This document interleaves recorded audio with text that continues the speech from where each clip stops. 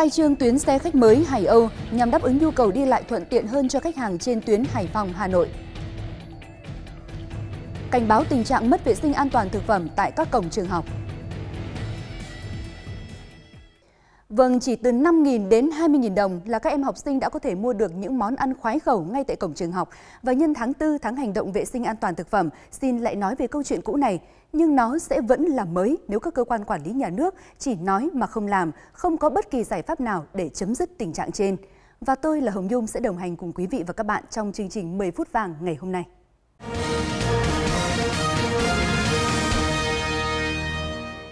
Bộ Nông nghiệp và Phát triển Nông thôn vừa có văn bản gửi các tỉnh thành ven biển khẳng định việc Trung Quốc tạm ngừng đánh cá trong vùng biển thuộc chủ quyền của Việt Nam là không có giá trị. Trước đó, Bộ Nông nghiệp và Phát triển Nông thôn Trung Quốc đã thông báo tạm ngừng đánh cá từ tháng 5 đến tháng 8 năm 2018 trong Biển Đông, bao gồm cả Vịnh Bắc Bộ và vùng biển thuộc chủ quyền Việt Nam. Bộ Nông nghiệp và Phát triển Nông thôn Việt Nam đề nghị các tỉnh thành thông báo cho ngư dân biết và động viên ngư dân sản xuất bình thường trong phạm vi vùng biển Việt Nam, hướng dẫn tổ chức thành đoàn đội khi đi sản xuất để hỗ trợ nhau trên biển. Lệnh cấm đơn phương này của Trung Quốc được khẳng định là không có giá trị với ngư dân tại vùng biển Việt Nam.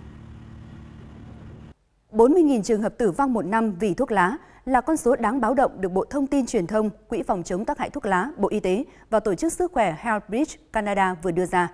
Thuốc lá gây ra nhiều bệnh tật ở cả người hút thuốc chủ động và thụ động, khiến 40.000 trường hợp tử vong mỗi năm ở Việt Nam, nằm trong top những nước có tỷ lệ người hút thuốc lá cao nhất thế giới với 15 triệu người. Tổng số ca tử vong ở nam giới hơn 35 tuổi là do các bệnh liên quan đến thuốc lá. Phụ nữ trẻ em đang phải gánh chịu hậu quả của hút thuốc thụ động và những chi phí trong việc sử dụng. Thống kê 47% trẻ em từ 13 đến 15 tuổi bị phơi nhiễm với khói thuốc lá tại nhà. Vì vậy, phòng chống tác hại thuốc lá không chỉ là vấn đề của sức khỏe mà còn là vấn đề phát triển và bình đẳng giới. Tiếp tục câu chuyện khác về vệ sinh an toàn thực phẩm. Thưa quý vị, trong khi cả xã hội đang quyết liệt đấu tranh với vấn nạn thực phẩm bẩn len lỏi vào bữa cơm của mỗi gia đình, thì nguy cơ mất vệ sinh an toàn thực phẩm vẫn hiện hữu hàng ngày, hàng giờ, ngay trước các cổng trường học.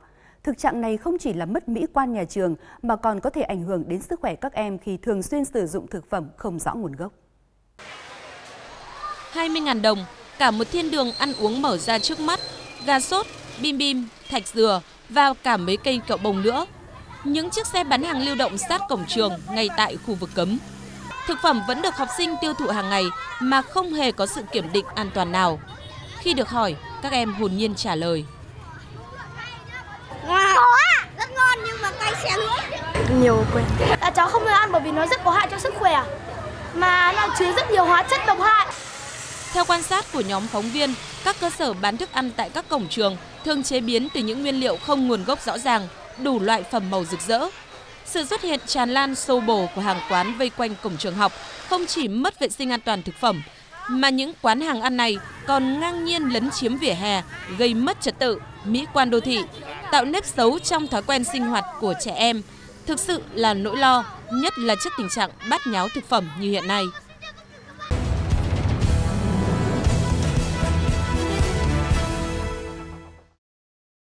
Xin được tiếp tục chương trình với những thông tin tiêu dùng mới nhất và tôi xin được nhường lời cho biên tập viên Nguyễn Hoàng. Xin mời anh.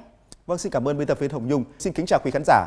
Thông tin đầu tiên mà tôi muốn gửi tới đó là chính phủ vừa ban hành nghị định 09 quy định chi tiết luật thương mại và luật quản lý ngoại thương liên quan đến hoạt động mua bán hàng hóa của các nhà đầu tư nước ngoài, các tổ chức kinh tế có vốn đầu tư nước ngoài, thay thế cho nghị định 23/2007. Theo đó thì đối với hoạt động bán lẻ, nhà đầu tư chỉ cần xin giấy phép kinh doanh của Sở Công Thương cấp để thực hiện quyền phân phối hàng hóa tại các siêu thị, cửa hàng tiện lợi, không bắt buộc phải có ý kiến của Bộ Công Thương như trước đây. Một số mặt hàng như là gạo, đường, sách báo hay là tạp chí phải xin ý kiến của Bộ Công Thương, nhưng thời gian tiến hành giải quyết chỉ còn 28 ngày, tức là rút ngắn 17 ngày so với quy định trước.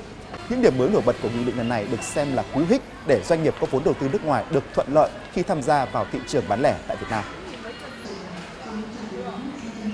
Công ty trách nhiệm hữu hạn vận tải BASS Hải Phòng được biết tới là doanh nghiệp hoạt động trong lĩnh vực vận tải hành khách đường bộ và chuyển phát hàng hóa với thương hiệu xe khách Hải Âu. Hình ảnh xe khách Hải Âu trong sắc xanh thanh nhã cùng với hình tượng cánh chim Hải Âu đã trở nên quen thuộc với người dân đất cảng trong suốt 20 năm qua. Doanh nghiệp này vừa khai trương tuyến mới, bến xe Thượng Lý, bến xe nước ngầm, tuyến Hải Phòng Hà Nội nhằm đáp ứng nhu cầu đi lại thuận tiện hơn cho khách hàng. Với dàn xe đời mới 2018, phòng chờ hạng sang với không gian sang trọng lịch sự và thư giãn cùng nhiều dịch vụ tiện ích miễn phí đi kèm như khăn nước, wifi, dịch vụ đưa đón tận nhà, đặt vé trực tuyến, xe khách Hải Âu sẽ chạy liên tục trong ngày trên tuyến Hải Phòng Hà Nội và ngược lại với tần suất 30 phút một chuyến, xuất phát từ Hải Phòng là bến xe Thượng Lý và từ Hà Nội là bến xe nước ngầm.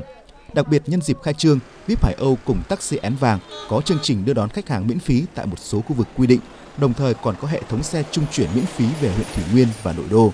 Hành khách đi xe khách Hải Âu trên tuyến Hải Phòng Hà Nội, thời gian toàn lộ trình chỉ còn 1 giờ 30 phút. Để làm được điều này, công ty trách nhiệm hữu hạn vận tải Bus Hải Phòng sẽ chạy liên tục trên đường cao tốc và không dừng đón thêm khách dọc đường, hạn chế tối đa những yếu tố gây ảnh hưởng tới thời gian xe chạy. Là doanh nghiệp hoạt động trong lĩnh vực vận tải hành khách đường bộ suốt 20 năm qua, Hải Âu không ngừng hỗ trợ nâng cao chất lượng dịch vụ, trang bị phương tiện và cơ sở hạ tầng hiện đại, đào tạo đội ngũ nhân viên chuyên nghiệp, thân thiện nhằm đem đến trải nghiệm thoải mái nhất cho khách hàng. Việc mở thêm tuyến xe khách chất lượng cao tại bến xe nước ngầm cũng nhằm phục vụ tốt hơn nhu cầu của hành khách muốn vào trung tâm thành phố Hà Nội.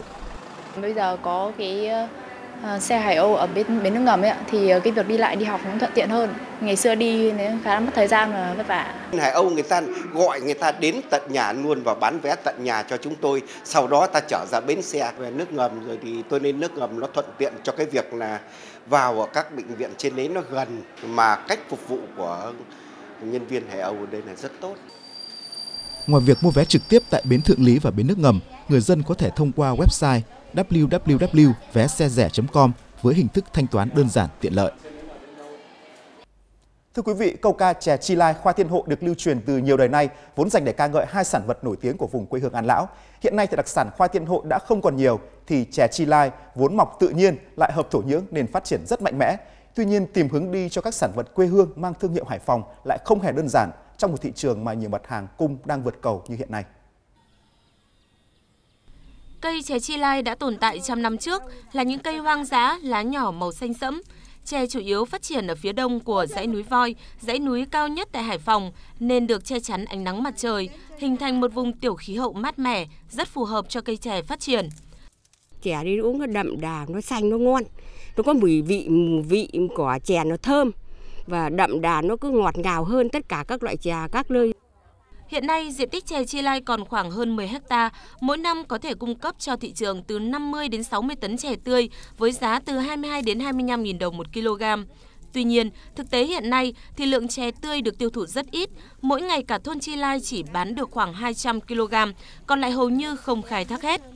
Chè chúng tôi thì nhiều lắm, thế nhưng mà chúng tôi thì nói thật là chưa có cái đầu ra, thế là nhà các cơ quan chức năng của ờ, nhà nước sao giúp đỡ chúng tôi để có cái đầu ra để Cây chè chi lai đã được Cục Sở hữu trí tuệ cấp giấy chứng nhận đăng ký nhãn hiệu, trở thành đặc sản không chỉ của vùng quê An Lão Hải Phòng mà còn của cả nước. Tuy nhiên, thực tế hiện nay, do việc quảng bá tuyên truyền chưa tốt, nên cây chè chi lai dù có chất lượng tốt hơn hẳn so với cây chè các vùng miền, địa phương khác, nhưng vẫn chưa được nhiều người biết tới, thị trường còn nhỏ hẹp nên sức tiêu thụ chưa cao. Trong thời gian tới chúng tôi sẽ có cái phát triển thêm ví dụ như là thành lập hợp tác xã, quy tụ hội viên. Thế và có cái hướng đề xuất với các cấp trên là có các điều kiện để phát triển rộng nữa về cây chè này. Buông anh mắt ngập ngừng để người dưng, nhớ người dưng thế này giá miếng trầu đựng cay giá chén trà đừng chát giá người Vâng, quy hoạch vùng sản xuất chè chi lai tập trung sẽ là một giải pháp hiệu quả không chỉ để phát triển kinh tế địa phương mà còn góp phần giữ gìn một bản sắc riêng thông qua các sản phẩm văn hóa. Thưa quý vị, ngày 30 tháng 4 mùng 1 tháng 5 tới đây thì quý vị và các bạn sẽ đi đâu làm gì? Một gợi ý của chương trình đó chính là đảo Ngọc xinh đẹp Cát Bà. Những hình ảnh trong phần cuối của chương trình 10 phút vàng hôm nay sẽ mang đến trải nghiệm thư thái và bình dị cho du khách khi đến với Cát Bà trong dịp này.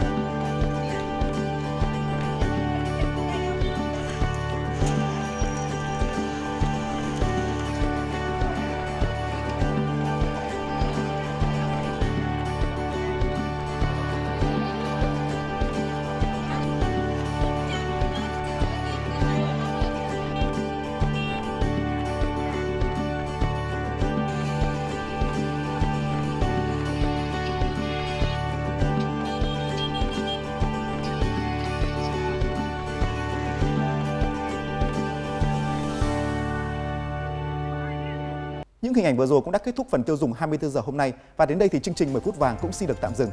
Chúng tôi sẽ tiếp tục cập nhật những thông tin mới nhất trong chương trình 10 phút vàng vào giờ này ngày mai. Còn bây giờ Nguyễn Hoàng và Hồng Nhung xin được nói lời chào tạm biệt quý vị và các bạn. Khu công nghiệp Nam Cầu Kiền hân hạnh đồng hành cùng chương trình.